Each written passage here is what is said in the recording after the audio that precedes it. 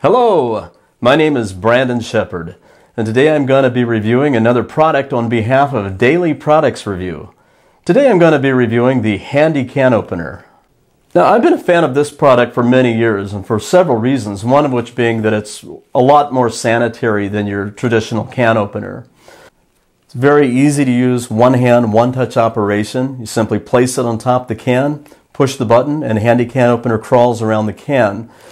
It's ideal for opening taller cans that don't work with traditional can openers as well.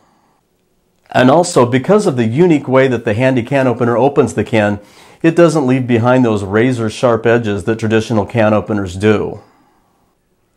One of the many features that the handy can opener has that I really like is its magnetic shutoff switch. The handy can opener's motor will not run unless it's making contact with a metal can. So if you have children running around and they happen to pick it up and they have their fingers in the drive gear, you don't have to worry about it turning on. It simply will not run unless it's touching a can. I really like the compact design of the handy can opener.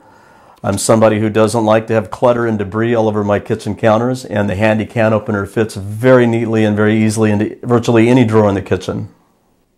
Now, the handy can opener is ideal for tailgate parties or for camping or boating and uh, doesn't take up any more space than a, uh, a, handheld manual can opener. And, and we, I think we all know the nightmare involved with using one of these, so let's get rid of that.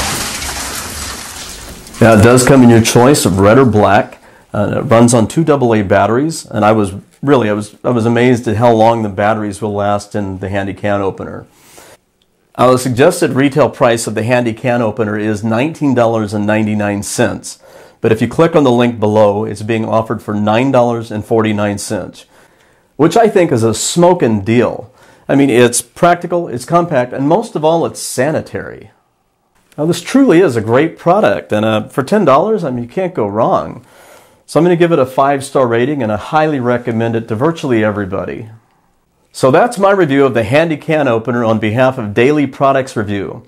And you can order this product by clicking on the link below. And until next time, I'm Brandon Shephard.